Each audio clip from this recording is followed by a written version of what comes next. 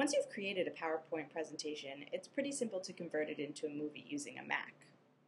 The first thing that we have to make sure we've done is complete our PowerPoint presentation and everything is in its place. We also need to add audio. When you create a traditional PowerPoint presentation and add audio, you do it right through PowerPoint. However, we're going to do it as we convert the movie instead. Now the first thing you have to remember is that you already have to have recorded your audio using Audacity and saved the MP3 file somewhere where you can find it.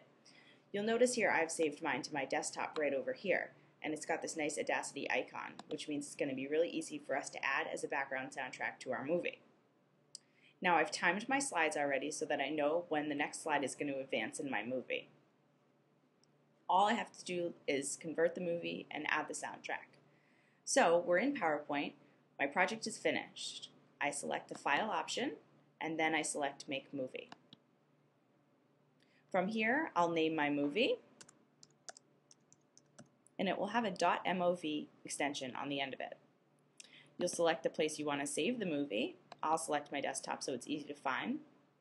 And then I'm going to click on this Movie Options button. You have to do this before you convert the movie. This is where we're going to add the music. This box is going to pop up and we'll notice under media settings, this is what we're really uh, interested in. Slide transitions, follow slideshow settings. That means I've already predetermined how many seconds or minutes I want a slide to appear before it advances to the next one. So I'm going to keep that option.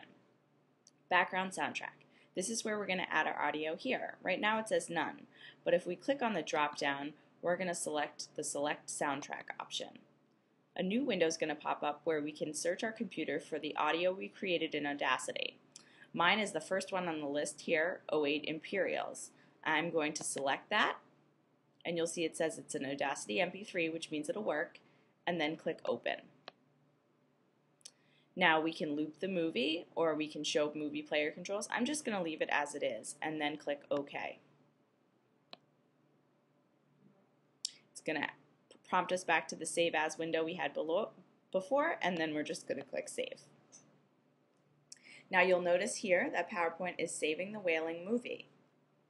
It's as simple as that. So now if we quit out of PowerPoint, I'm going to make sure I save my PowerPoint presentation. You'll notice here's my movie. If we open it up, you'll see it's a movie and my music is in the background. It's as simple as that.